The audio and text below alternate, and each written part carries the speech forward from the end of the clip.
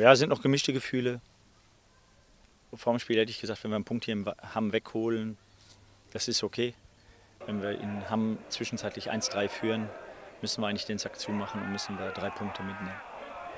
Wie gesagt, wir hätten den Sack zumachen müssen. Dass ein 2-3 nochmal passiert, dass es eine hektische Schlussphase gibt, ist auch dann in so einem Spiel normal.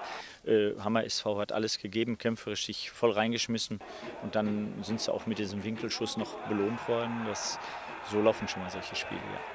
Ja. ja wenn man das Spiel 3 zu 1 führt und das um diese Spielzeit, dann muss man das Ding auch über die Runden bringen. Wir hatten Chancen, das vierte Tor zu machen, haben die Chance nicht genutzt und dann denke ich mal, im Endeffekt ist ein 3-3 dann nicht zufriedenstellend für uns.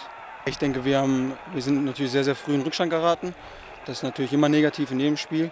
Dann denke ich aber, sind wir gut wieder zurückgekommen. Durch die Standardsituation haben wir das Tor, den Ausgleich gemacht, dann das 2-1 gemacht. Dann denke ich mal, waren wir auch besser im Spiel. Und dann haben wir auch in der zweiten Halbzeit dann das Ding nachgelegt, mit 3 1 geführt. Und dann muss man einfach noch den Deckel auf die Partie drauf machen. Und dann denke ich mal, können alle mit der Partie zufrieden sein. Das Gegenteil ist passiert. Wir haben noch zwei Gegentore bekommen. Das Spiel geht 3-3 aus.